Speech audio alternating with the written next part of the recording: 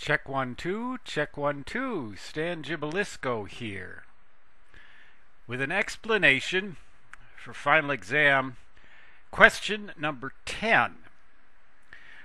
Found on page 663 of Teach Yourself Electricity and Electronics, 5th edition. That is edition number 5. Question number 10 asks us what happens if we wear hard uh, soled shoes and shuffle around on a carpet? You've done that. In the wintertime, up north, when the humidity gets really low, you shuffle around on a carpeted floor and then you touch something that's grounded. Like, for example, a cold water pipe, a radiator.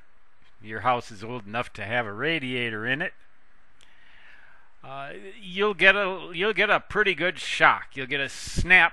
Uh, it'll really uh, you'll feel it, but it won't be dangerous unless you know you walk around uh, unless you're carrying a can of uh, gasoline, otherwise known as petrol.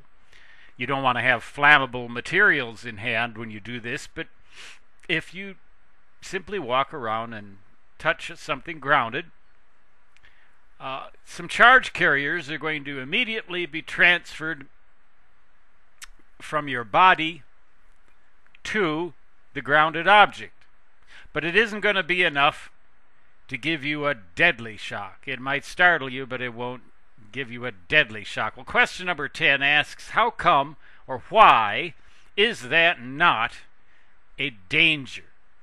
The reason why it's not a danger is that simply not enough charge carriers are there to drive enough current through your body when you touch that object. So the correct answer to this question is D is in delta, not enough coulombs of charge. Remember, a coulomb is a lot of charge carriers, trillions and trillions. And yet, even that many isn't enough to do you any serious harm, except maybe make you shout, yout! Stan Gibilisco signing off for now.